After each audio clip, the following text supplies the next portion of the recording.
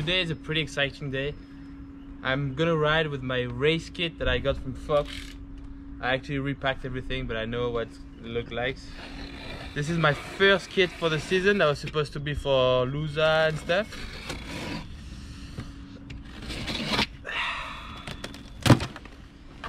Dun, dun, dun.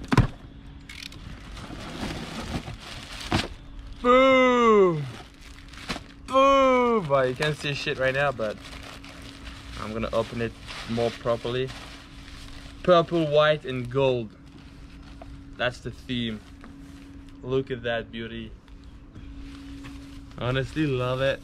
It's not real gold, but they tried to make like a reflection. I thought it was gonna be actually like more actual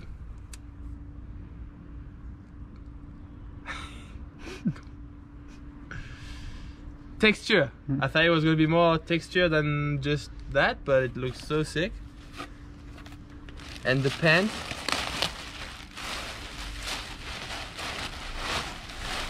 Full looking sick. Purple and white again. Oh. Pretty stoked about that. And you know what? Look at that. We're here in Schladming.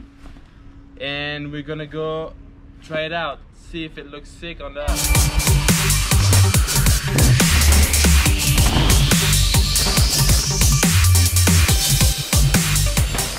We bump into a local, kind of. Not at all local, but one of my favorite rider. Nico Vink. What are you doing here? Riding bikes, like. So good to ride with you.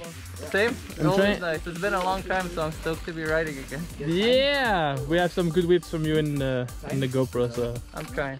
let's see Trying that. Do more, do more. Mr. Bruni.